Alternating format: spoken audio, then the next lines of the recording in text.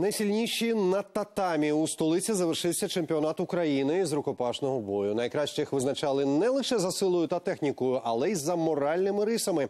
Як усе було, бачила Катерина Сривкова. Першість Олександр тримає вже четвертий рік поспіль. Він знає, що потрібно, аби стати чемпіоном. Дисциплина все-таки, как и в спорте, так и в жизни, везде. Спорт, в первую очередь, характер закаляет. Ну, стараюсь не проигрывать. На мире в финале уступил буквально балл один. Один раз, это было в 2015 году. Стал призером. Все остальное мое. Олег теж багаторазовий чемпіон України. Для нього це результат понад 10 років кропіткої праці. Розповідає, рукопашним боєм займається не лише заради спортивних звитяг, а й для емоційної розрядки. Во время работы накапливается очень много негативных эмоций. Во время тренировок это все выходит. Все отлично. Когда ты выходишь на татами, ты ничего не чувствуешь. Ты, просто полностью отдаешься бою, полностью отдаешься противника.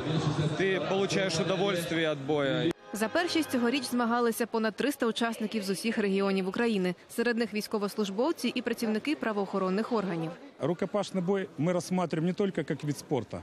Это основа боевой подготовки всех силовых структур и спецподразделений. Это вид спорта, который позволяет выработать такие необходимые качества, которые позволяют выполнять все свои д- должностные обязанности. Це мужність, воля до перемоги. Якщо вийшов на татамі, він вже о- отримав перемогу.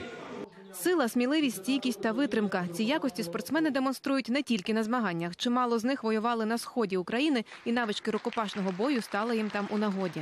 Я саме на передовій бачив спортсменів-рукопашників, які дійсно одні з перших взяли руки зброю і в складі добровольчих батальйонів, в складі збройних сил України стали на захист територіальної тіл- цілісності нашої держави. Це все те, що чим можна гордитися.